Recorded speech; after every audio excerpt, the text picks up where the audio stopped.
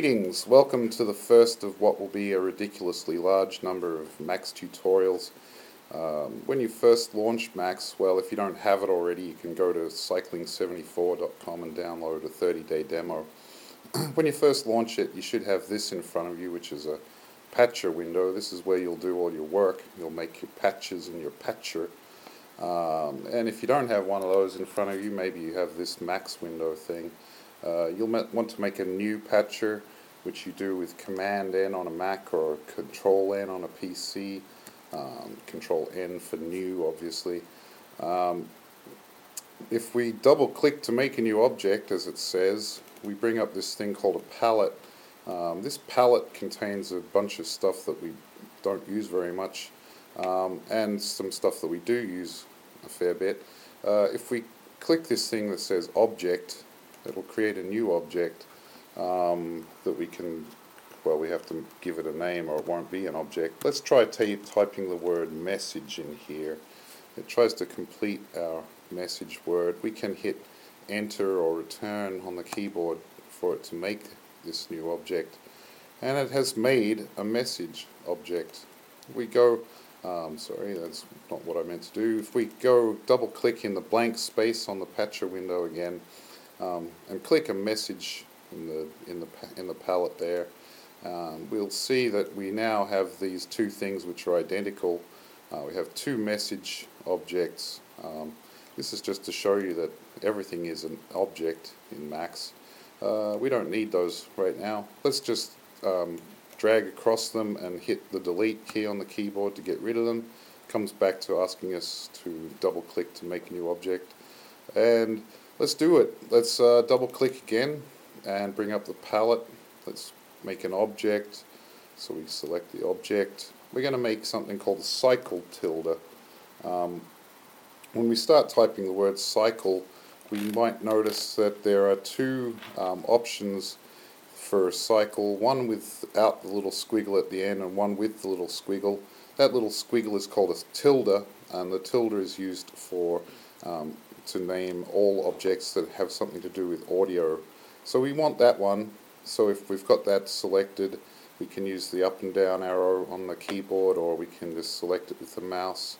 Uh, we can hit return or enter on the keyboard and it will create that cycle tilde for us.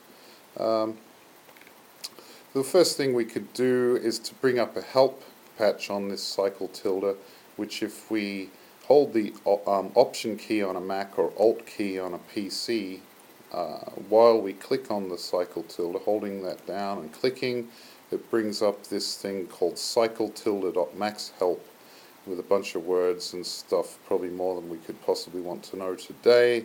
Uh, the thing I'm interested in is right here where it says argument sets frequency. Okay, so what's an argument? An, an argument is any um, word or number that comes after the name of an object, in this case 440, that uh, sets a kind of default state for the object. In this case, when we we'll close that um, help patch, if we go back here and type after a space, so we'll select the object until we go blue, and then we'll get the blinking cursor, and after hitting space, because we don't want it just to be one word, the, we'll type again, just like it did in the help patch there, the word 440, the number 440. And now this oscillator, it's uh, this is a sine tone oscillator we've created, will have a frequency of 440 hertz. Uh, the next object we're going to want to make, we'll see actually before we move on that uh, the, the, every object has a certain number of inlets and or outlets um, depending on what the object does. And outlets are always at the bottom, inlets are always at the top. And we want to make another object so we'll double click in the blank space here create an object by clicking on object and we're going to create something called multiply tilde which if you click the asterisk key on your keyboard, which is what we use for multiplication in Max, um, that's uh, Shift 8 in case you can't find your asterisk, never typed one before. Um, you'll see that you have an option now again of one uh, multiply without the tilde, one with. We want the multiply with tilde, so we can, again, up down arrow or select with the mouse the one we want. And we can create that, again, by just hitting enter or return or clicking in the blank in the blank area of the patcher window will also create it. Okay, so if we connect, what we want to do um, is to connect the outlet of this cycle tilde um, to the inlet, the left inlet of the multiply tilde. So let's uh, just mouse until you see a red circle around the outlet of the cycle tilde. And when you see that red circle, you can click with the mouse, then drag, and you're creating something called a patch cord here to connect the objects. And if you drag down until you see a, a red circle around the left inlet of that multiply tilde and release the mouse and you should have a patch cord. Uh, we also want to have an argument in this multiply tilde.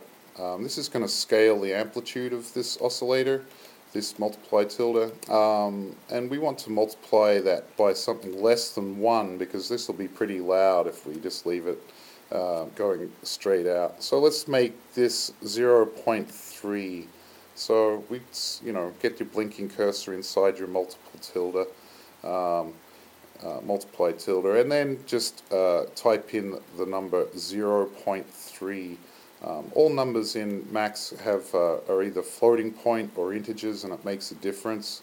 Um, that's an integer without the point. That's a floating point number with the floating with a point on it. Um, to hear this now, we're going to want to play this through our sound card, so double click again in the blank space, bring up something called an Easy DAC, which is on the second um, row of objects in the palette. So we click this thing called Easy DAC, and lo and behold, there's a there's an um, object for for listening to the sound. Uh, we want to connect the outlet of our multiply uh, object here to the left inlet of this Easy DAC. So we create that patch cord, release to create it. And we can click on this thing, but we're not doing anything at all. We're not hearing anything yet. We want to, to be able to click on this, we want the patcher window to be locked. You can see that it's unlocked because it says um, it says uh, sh shows that in this icon here. Also, the background having these tiny little grey dots is a giveaway that the patcher is unlocked. To lock the patcher, you can use this um, little icon down here, or another way um, is to use Command E or Control E if you're on a PC. Um, my favorite way is to hold down the Command Macintosh or Control PC key and click anywhere in the patcher window. That's the fast way. So if your patcher is locked, those grey dots have disappeared. And now when you click on this Easy DAC, you should hear something uh, like a sine tone. That's coming out your left speaker or headphone. If you wanted to come out the right as well, you'd need to unlock the patcher, i.e hit the um, hold control uh, or I mean on PC or command on a Mac. Hold that down while clicking in the blank space. Mouse over the outlet there until you see a red circle. Um, drag until you see a red circle release and now when we lock the patcher hit control or command while clicking there and now we should be hearing it out both speakers um, we can now send Morse code to your friends